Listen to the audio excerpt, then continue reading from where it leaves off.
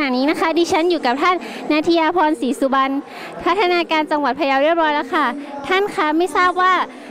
การคัดสรรสุดยอดหนึ่งตำบลหนึ่งผลิตภัณฑ์ในวันนี้นะคะ บรรยากาศเป็นยังไงบ้าง แล้วก็มีผลิตภัณฑ์อะไรที่ส่งเข้าคัดสรรบ้างคะค่ะ วันนี้นะคะบรรยากาศการคัดสรรสุดยอด ผลิตภัณฑ์โอท็อปของพะเยาเรานะคะคึกคักมากเลยนะคะคึกคักทั้ง คนที่มาร่วมงาน แล้วก็คนที่เอาผลิตภัณฑ์มา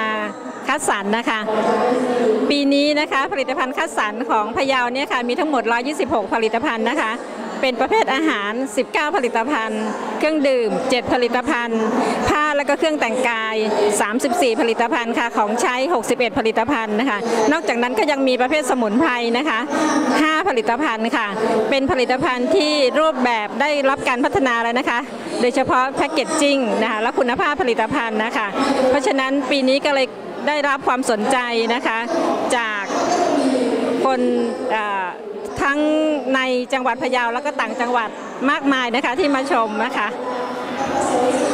ค่ะ แล้วในวันนี้ท่านมีอะไรจะกล่าวขอบคุณคณะกรรมการหรือพี่น้องพ่อแม่ชาวโอท็อปที่ส่งสินค้าเข้าคัดสรรสักเล็กน้อยค่ะ ก็วันนี้รู้สึกยินดีแล้วก็ปลื้มใจมากนะคะ ที่เห็นบรรยากาศงานคึกคักแบบนี้นะคะ ก็ต้องขอขอบคุณนะคะคณะกรรมการที่มาพิจารณาให้คะแนนผลิตภัณฑ์ของจังหวัดพะเยาในวันนี้นะคะ ซึ่งได้รับความร่วมมือจากหลายหน่วยงานมากเลยนะคะแต่ค่ะต้องขอบคุณมากๆ แล้วก็ขอบคุณนะคะ ผู้สนใจผลิตภัณฑ์พะเยาของเรานะคะทั้ง